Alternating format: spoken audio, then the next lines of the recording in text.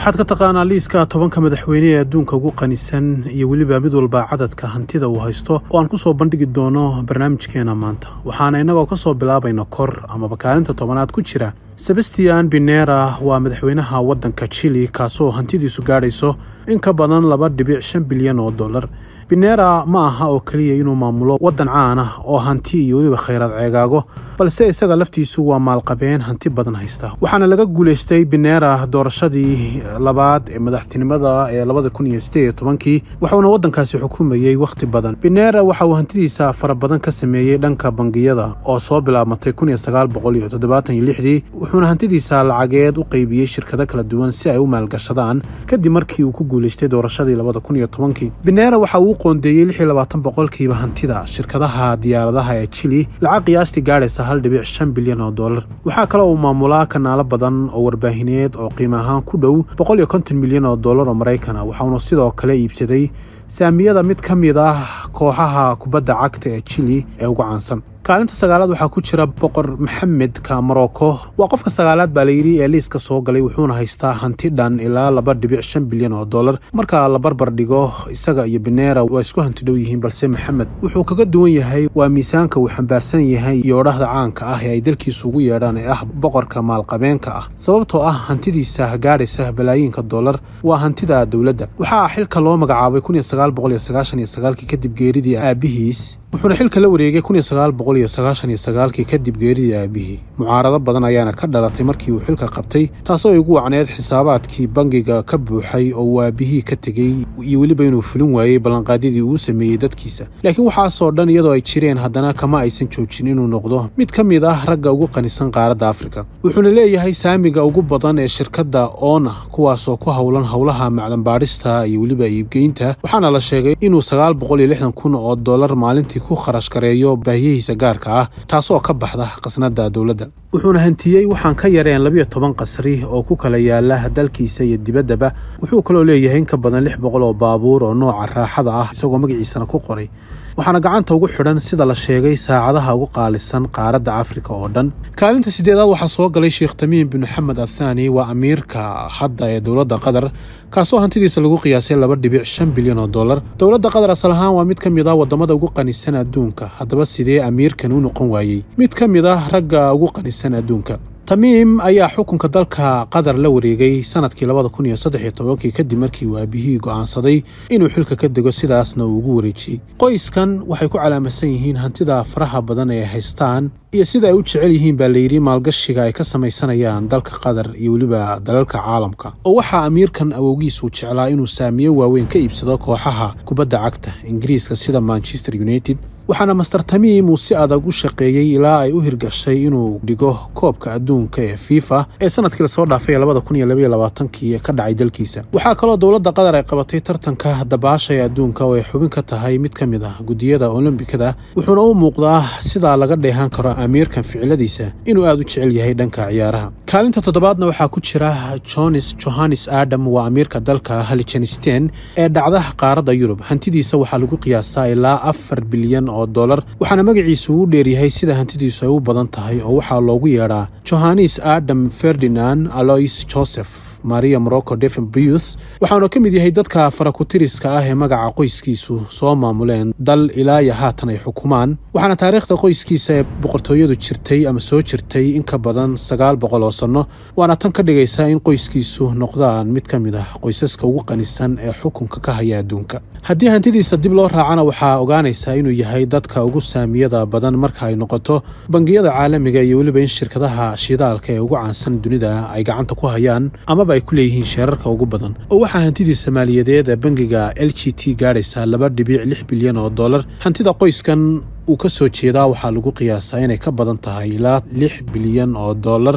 halka johannes uu keligiis haysto ilaa afar bilyan oo dollar. Qaar ka mid ah hantida ugu caansan ee uu haysto waxaa la sheegaa inay ku jirto sawir gacmeed faneed oo lagu tiriyo kuwa ugu qaalisan adduunka. Kaalinta lixaadna waxaa soo galay sheekh maxamed bin rashiid al makhtuum oo ah madaxweyne ku-xigeenka dalkaasi imaaraadka. Hantidiisa waxaa lagu qiyaasaa ilaa siddeed bilyan oo dollar. Sanadkii labada kun iyo sideedii sheekh maxamed waxa uu ahaa ra'iisul wasaaraha iyo madaxweyne ku-xigeenka isutagga imaaraadka carabta. Maxamed waxa uu dhashay shan iyo tobankii bishii julaay kun iyo sagaal boqol iyo afartan iyo sagaalkii. Waana da'dii saddexaad ee uu dhalay sheekh rashiid wuxuuna ku soo dhex koray qoyska reer al maktuum ee xukuma imaaradda dubay caruurnimadiisii wuxuu aabihii ka bartay xirfadda sida fardafuulka wuxuuna waxbarashadiisa asaasiga ah uu ku qaatay isla magaalada dubay isagoo amray heerarka kala duwan ee waxbarasho iyo ciidan. Waxbarashadiisa sare waxa uu ku qaatay london kadibna wuxuu halkaasi ka galay dugsiga tababarka ciidan ee british military college. Hadda waa dadka ugu badan ee hantida ku leh shirkadaha ugu caansan ee dunida sida h s b c sony iyo shirkado kale oo waaweyn kaalinta shanaadna waxaa soo galay kim jon un waa hogaamiyaha dowladda kuuriyada waqooyi waxaana hantidiisa lagu qiyaasaa ilaa shan bilyan oo dollar marka laga soo tago inuu ka mid yahay madaxweynayaasha ugu qanisan dunida soona galay kaalinta shanaad. Waxaana dhinaca kale lagu tiriyaa hogaamiye inta badan soo jiita warbaahinta iyo saxaafadda reer galbeedka waxaana taa ugu wacan habsiyaasadeedkiisa iyo qaabka uu wax u maamulo taasoo ah mid aada loola yaabo oo ka duwan dalalka intooda kale.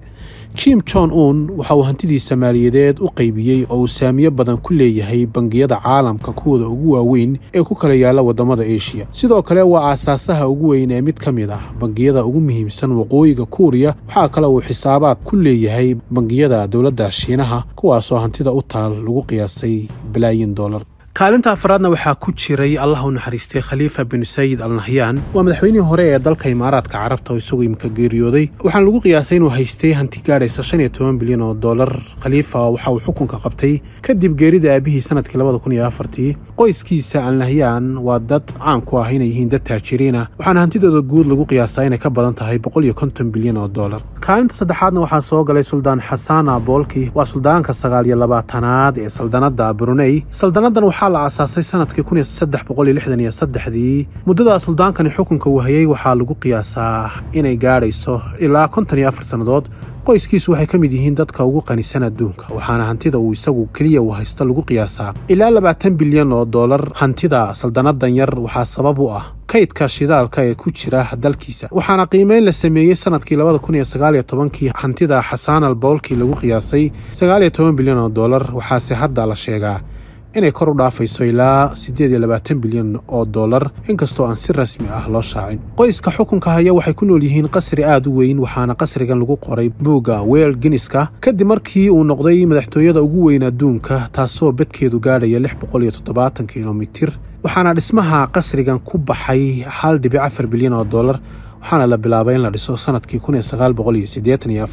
hantida suldaan xasan uu leeyahay waxaa ka mid ah in ka badan toddoba kun oo baabuur oo noocyada ugu qaalisan adduunka ee hadda la isticmaalo ah. Sidoo kale diyaaradaha nooca khaaska ah ee brefat jetka oo iyaguna tiradaasi ka badan. Kaalinta labaad waxaa soo galay mahad faajira longran oo ah mulkiilaha hadda ee dowladda tailan waxayna qoyskiisu ka soo taliyeen tailan tan iyo kun iyo toddoba boqol iyo siddeetan iyo labadii maaha faajira wuxuu xukunka qabtay labada kun iyo saddex iyo tobankii kadib geeridii aabihiis.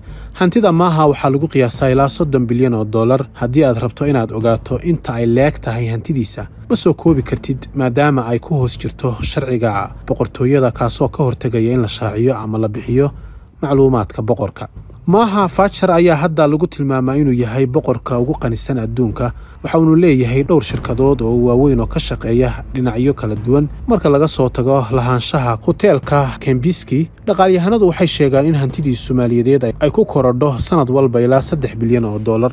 Kaalinta koowaad waxaa soo galay amaba ku jira valadimir putin waa madaxweynaha ruushka. Hantidiisu waa ilaa toddobaatan bilyan oo dollar sidaas darteed ayuuna madaxweynaha ugu qanisan adduunka oo dhan u noqday. Wuxuuna waddankaasi soo xukumayay ruushka tan iyo sannadkii labada kun iyo labiyo tobankii. Hantidiisu waxay ku kala jirtaa saamiyada shirkadaha ugu caansan ruushka iyo shirkadaha kale ee caalamka wuxuu kaloo xilka madaxweynaha jamhuuriyadda soo qabtay intii u dhexaysay labadii kun ilaa labada kun iyo siddeeddii intii uu xilka hayeyna dowladda ruushka waxay gaadhay barwaaqo iyo horumar oo dhinaca dhaqaalaha iyo dhinaca milatariga iyo weliba dhinaca wax soo saarka markay noqotoba